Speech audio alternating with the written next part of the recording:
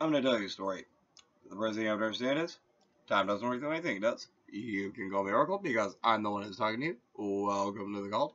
Oh, look, Dims is still going strong. Oh well, what else? I'm so over it.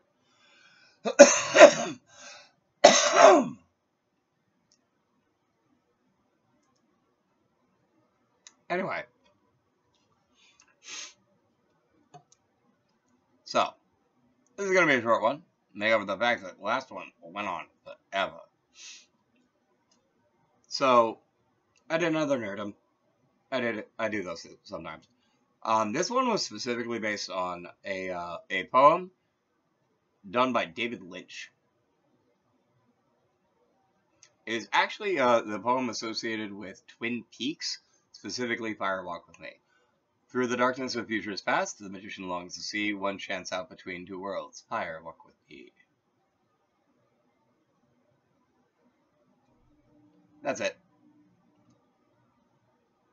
I actually did it a while ago. It's not like I'm doing it with this one. It, it's not like I, I enchanted this Doom of Already to be like to do that specifically because I, I did that a while ago.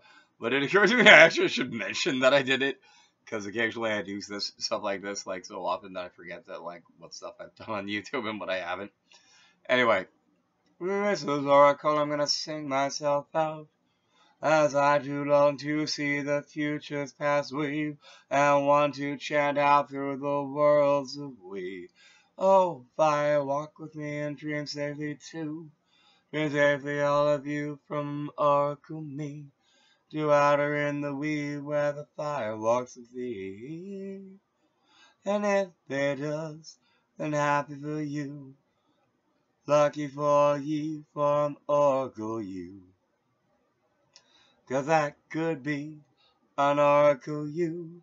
If you're, well, if you're the kind of person fire will walk with you. Oh, hey, and now with this say, I'm walking with dreams safely away. Hey,